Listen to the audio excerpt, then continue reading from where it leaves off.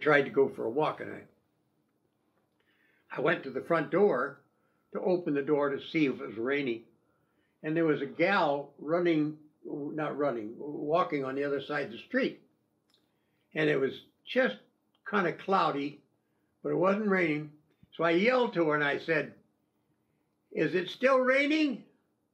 And she turned and started walking toward me and and she pulled out her smartphone and started a little bit pretty and she said, uh, Les, uh, it's not supposed to rain until about five o'clock. You can go on your walk probably before then.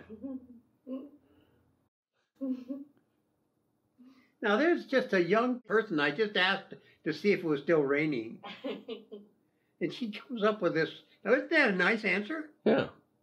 Yeah. She's uh, just taking care of Les High. Yeah. She was coming over here to tell me about the weather because I asked her.